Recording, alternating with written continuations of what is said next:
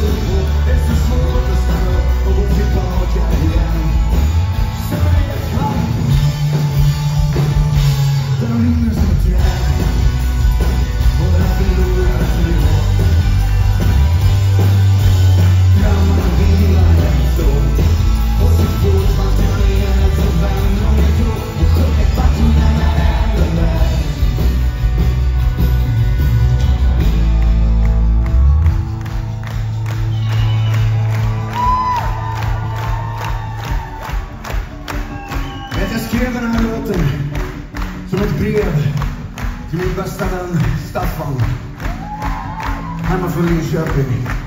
Vi har känt varandra sedan vi var tio år gamla. När vi var 12 så bildade vi band tillsammans. Och 1993, samma år som vi fyllde 18, så fick vi spela på Hultsfreds festival. Ja, visst, därför att livet kan överraska. Och sen skildrades vi geografiskt. Han pluggade i Lund jag kom upp till Stockholm. Och ända så var det precis som låten säger att jag åkte till Oslo med hans ex. Var inget mellan oss. Vi landade runt på Karl Johan. Men jag minns att jag tyckte att vi hade blivit så jävla vuxna. Jag var 24. Det var liksom inte samma charm längre. Och det ramlade hem klockan fem. Det skulle visa sig ha en viss charm några år till. Det är väl egentligen först nu som man... Eh, det är fortfarande värt villan. Kanske ikväll, vi Men i alla fall, jag var lite brådmogen på den tiden och jag använde stora ord och stora gester. Men jag är glad för det nu. För precis som min och Staffans vänskap Klar den här låten kommer att betyda mer för mig nu än jag kanske förstod då. Och sen plötsligt några år senare så bodde vi i samma trappuppgång på Södermalm i Stockholm. I varsin lägenhet, med varsin liten familj. Vem hade kunnat tro det? Livet kan överraska. Och de gifte sig och vi skilde oss. Och så går tiden. Och allt man väljer åkne till tillvaron. Och ytterligare några år senare så träffade jag en norska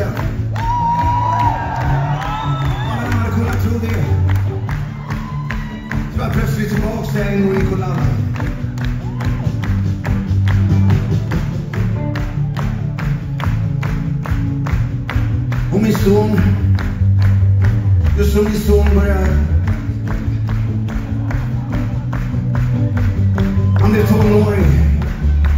Och just som jag börjar sakna hans småbarnsår så kom en liten jävel till med blå ögon. Och jag tänkte, herregud. Livet kan överraska. Så är det fram med legot igen. Och vi är väl inte sådär väldigt mycket på Karl Johan längre.